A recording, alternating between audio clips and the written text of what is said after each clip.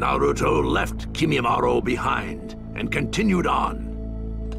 Until at last, the sound of echoing thunder meant that he'd arrived at the ravine known as the Final Valley. There, with his back to him, stood his rival and closest friend, Sasuke. Obsessed with his thirst for power, the Sasuke he had once known seemed lost forever. Naruto called upon their bond. But Sasuke had severed the bond from his heart, and Naruto's words fell on deaf ears. It was already too late. It was too late for words. But even if it took brute force, Naruto Uzumaki would bring him home. He clenched his fists. Naruto challenged Sasuke.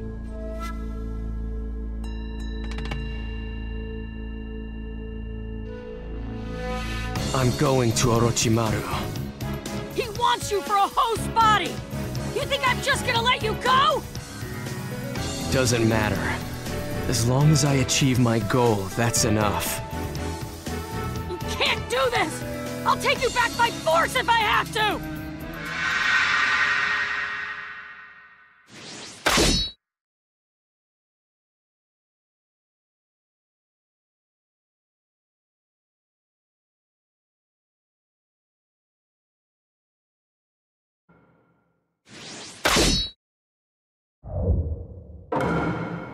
Let the battle begin!